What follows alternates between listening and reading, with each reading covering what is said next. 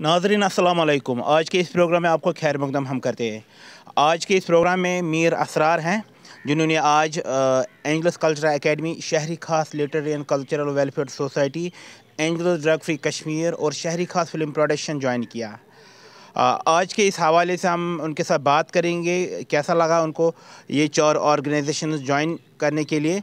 उन्होंने आज ये ज्वाइन किया हमारे साथ ये चार ऑर्गेनाइजेशन और हमारे साथ इन फ्यूचर में जितने भी प्रोग्राम्स होंगे, वो हमारे साथ काम करेंगे। और साथ साथ आज नेशनल यूथ डे मनाया जाता है। इसके हवाले से भी हम उनसे राय पूछेंगे और आज की मैसेज क्या रहेगी यूथ के नाम। अस्सलाम वालेकुम Tariq sir.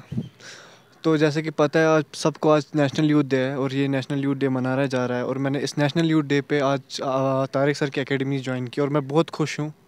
First of all मैं तारिक सर को बहुत शुक्रगुजार हूँ तारिक सर का। उसने मेरे को मौका दिया इस एकेडमी में काम करने के लिए। मैं इन अब इस एकेडमी में दिल जान से काम करूँगा।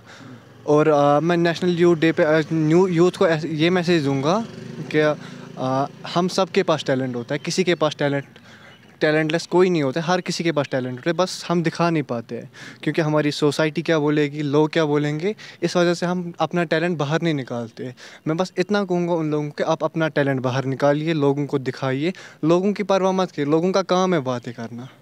एक बार जब आपका नाम बन जाएगा देन वो आपसे तड़पेंगे बात करने के लिए। ये मैं बोलूँगा, और अपना टैलेंट जो भी है, बाहर निकालिए सिंगिंग एक्टिंग वगैरह, जो भी है, सब कुछ आर्टिंग अरे लिखना, पढ़ना, सब कुछ, जो भी आपको आता है, आप दिखाइए। और अगर नहीं मिल रहा है तो तारिक सर से आप कांटेक्ट करिए, ये यूथ को बहुत मौका देते हैं फ़ील्ड में आने के लिए। बस thank you so much Tariq sir, मेरे को यहाँ पे बोलने का मौका दिया आपने। नाजरन, ये थे मीर इसरार, जिन्होंने आज के इस मौके पर, आज के दिन के मौके पर उन्होंने मैसेज दिया। उम्मीद करते हैं कि आपको आज का ये प्रोग्राम ज़रूर पसंद आया होगा। दीजिए नए प्रोग्राम तक इजाज़त, अल्लाह हाफिज़।